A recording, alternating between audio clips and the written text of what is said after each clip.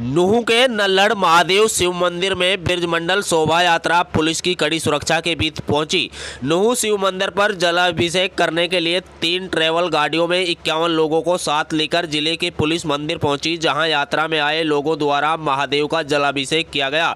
यात्रा में सबसे पहले महामंडलेश्वर स्वामी धर्मदेव पहुँचे, उसके बाद तीन ट्रेवल गाड़ियों में पुलिस की सुरक्षा के साथ विश्व हिंदू परिषद बजरंग दल तथा सर्व जातीय हिंदू संगठन के लोग शिव मंदिर पहुँचे। विश्व हिंदू परिषद के अध्यक्ष आलोक कुमार पहुँचे। उन्होंने चलते चलते मीडिया से बात की तो कहा कि अभी जल अभिषेक यात्रा के लिए आए हैं। यात्रा यहाँ से शुरू होकर फिरोजपुर झिरका जाएगी और समापन यात्रा का पुनाना के श्रृंगार गाँव में राधा कृष्ण मंदिर में होगा। वही आईजी ममता सिंह कानून व्यवस्था ने कहा कि आज सुबह साढ़े चार बजे से ही महादेव मंदिर पर श्रद्धालु पहुँचे। उन्होंने जलाभिषेक किया। बाहर के किसी भी व्यक्ति को यात्रा में आने की इजाज़त नहीं दी गई थी। ज़िले के लोग अपने अपने क्षेत्र के मंदिरों में जलाभिषेक करने की इजाज़त थी। कुछ बजरंग दल विश्व हिंदू परिषद के लोग ज़रूर आए हैं। यात्रा शांतिपूर्ण तरीके से निकल गई है।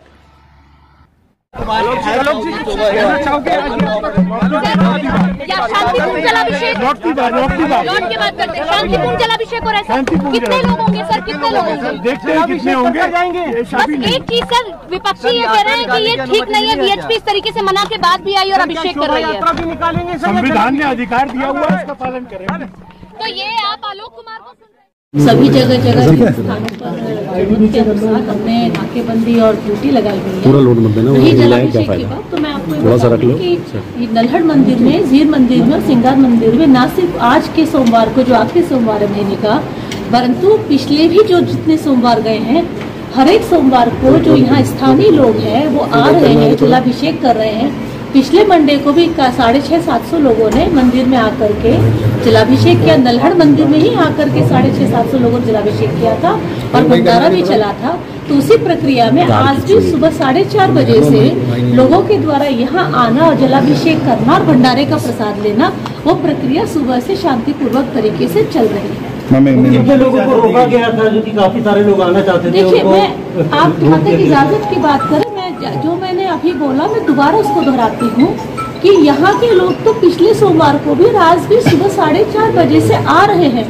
जलाभिषेक के लिए तो प्रशासन ने रोका ही नहीं है, लेकिन ये ज़रूर कहा था कि स्थानीय लोग करेंगे और जो बाहर के जो व्यक्ति हैं, जो आसपास के गाँव से, क्योंकि जो मीडिया में जो बातें चल रही थी, उनको हम ऑब्ज़र्व कर रहे थे और मीडिया में कुछ इस तरह की भी चीज़ें चल रही थी, जो थोड़ी सी भड़काऊ तरह की थी, कि ग्रुप बनाकर मोबिलाइजेशन करने की जैसे कोशिश की जा रही थी। तो उसको देखते हुए हमने जो ग्रुप मोबिलाइजेशन है ग्रुप मूवमेंट है जो न सिर्फ़ हरियाणा के अलग क्षेत्रों से, बल्कि यूपी, राजस्थान से भी हमारे पास जो सोशल मीडिया से जो हमारे इनपुट थे, कि एक ग्रुप आकर के यहाँ पे हो सकता था, स्थिति खराब कर सकता था किसी भी जगह से आके, उसको देखते हुए हमने बाहरी लोगों के आने पे रोक लगाई।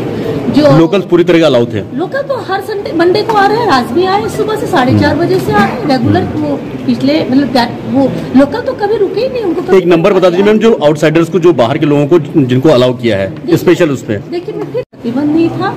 बाहर से हमारे जो आरएसएस प्रमुख हैं आलोक जी और जो धर्मदेव जी हैं, उनका आग्रह था कि उनको भी जलाभिषेक करना है। उनके साथ कुछ साधु संत थे, मेरे ख्याल से अगर मैं कुल संख्या देखूँ तो दस बारह की होगी, क्योंकि उनकी जलाभिषेक की इच्छा थी और जलाभिषेक के लिए कोई हमने किसी को मना नहीं किया था। एक धार्मिक आस्था का प्रतीक है, विश्वास का प्रतीक है। तो उनकी जलाभिषेक की इच्छा थी तो उन्होंने आकर के जलाभिषेक किया है। जलाभिषेक के बाद वो अपने अपने स्थान पर लौट जाएँगे। यात्रा की इजाज़त प्रशासन ने नहीं दी और न ही यात्रा को निकाली जा रही। हम जो बाहर के लोग थे क्या उनकी ये जलाभिषेक की प्रक्रिया खत्म हो गई है या अभी भी मतलब वो और जलाभिषेक नल्हट मंदिर से तो करके जा चुके हैं वो तो कर चुके हैं। ठीक है Ma'am, and initially, how many outsiders have been allowed, and uh, you got few requests from other VHP leaders also, which has also been you know, taken.